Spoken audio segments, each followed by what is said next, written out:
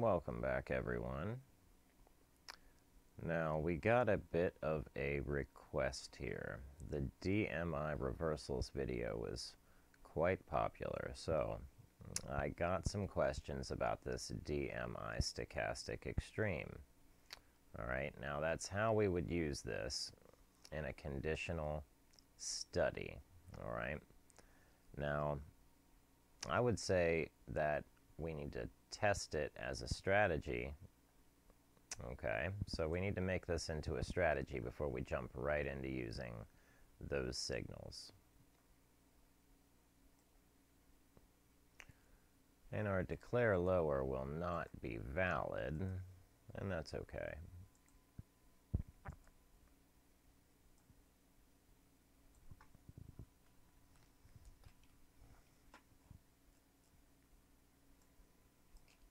Okay.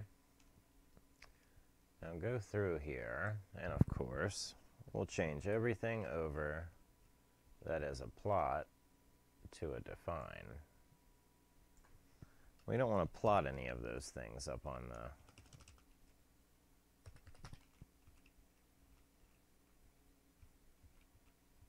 Okay. Now we'll get rid of these. Not important. All right. Now, we've got part of our new strategy. Now, if you don't have a template, this is your chance to build one, okay? So we're going to go over into our studies. Uh, wrong. We're going to go over into our strategies again. You're going to type in DON and go to your Donchian channels, all right? Come all the way down here, and this strategy has quite a few options that you can use, all right? I usually pull these four orders.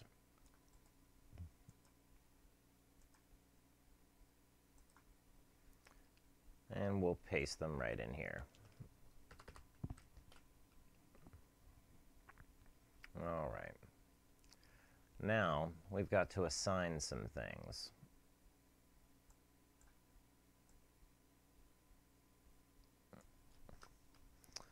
Specifically zeros. I'm not interested in looking at red this entire time. So we'll get rid of them until we fill them in. Okay. So your buy to open, all right, now we're going to want this to be arrow up, okay? So we're going to need to define that we want to call, you know, up and down, all right? So there's your plot, up and down. All right, so we're going to define that. Define. And define. Okay. Now it does make all of this paint strategy stuff no longer valid. All right. That's fine.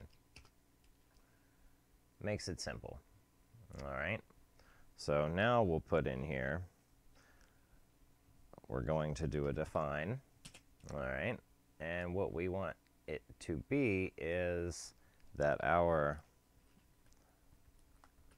buy to open is equal to up, and we'll close that out. All right, and then your sell to close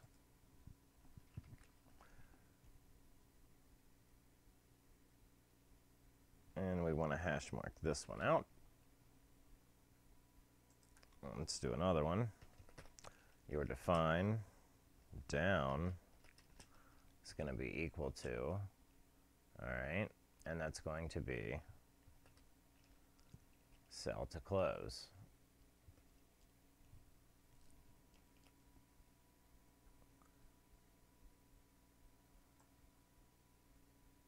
Oh.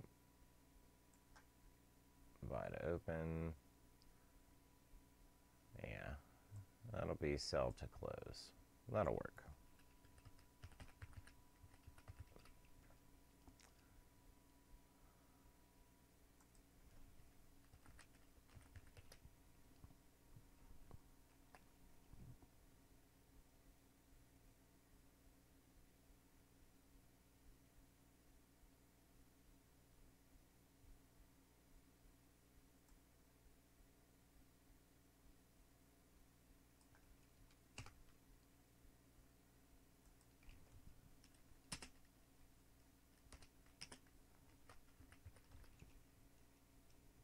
Perfect. Okay, and our buy to close, we'll hash that out for now too. We'll hit apply. Now this is a long strategy. For the short strategy, you would put your you know, buy to open as you know, your sell to open, okay, so short. And then your buy to close, you know, covering that position. All right. So let's go in here and change these names real quick so we know what they are when they show up. All right. Now that's your buy-in. All right, and this is closing your position.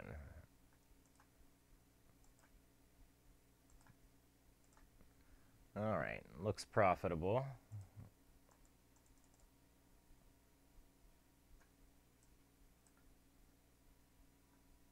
It does well in a decline. Okay. I like this strategy. Now, if we wanted to use this, and let's just check a report here. Not terrible, but it does have some losses. Overall, good winners. Nice, $2,000. Eh, a couple more trades than I would have liked to have taken, but you're still making $500. Not terrible. I like it. Okay. So, now if we wanted to use this as your conditional buy order, okay, now you have to come in and do a buy, all right, you know, or buy custom, you know, and, and we'll get to the, uh, the OCO bracket, stop limit, and, you know, all that fancy stuff. But anyway, so You'll come in here and you'll click your buy. All right, you'll come up here. Now you will decide what that you know you want. If you want this order, that's perfectly fine. Um, and you have to come over here to your little gear icon. You have to edit your order, okay? And you'll come over here to your little gear icon, all right? And pull that up. And you'll get, you know, your order rules, all right? So what you're saying is that you want to buy 100 shares of Tesla at the limit price that you set. So you'll set your limit, you'll set your quantity, all right, and your time in force. Now, this is going to have to be a day order, okay? Now, put it in day. At least that's what I would suggest, okay?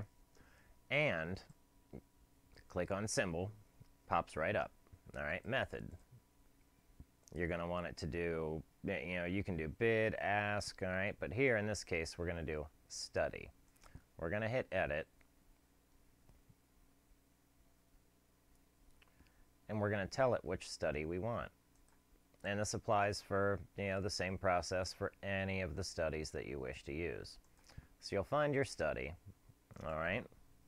And let's see, what do we have? We've got our DMI, stochastic extreme, all right? And our DMI reversals, the other ones you've built, okay? So you'll come to your stochastic extreme. Now, you want to know when up is true within one bars, and you'll hit save. All right? Now, if it doesn't plot on the bottom, make sure you click plot on the subgraph. All right? Now you can zoom in here and see if you like where the action happens. And if you're all about it, then you hit OK and send it away, and you are good to go. All right? That's it. Plain and simple. So, and canceling, you know, would be if you created an order and you wanted it to cancel let's just say if it went above a certain price or triggered a certain other study signal. So keep that in mind.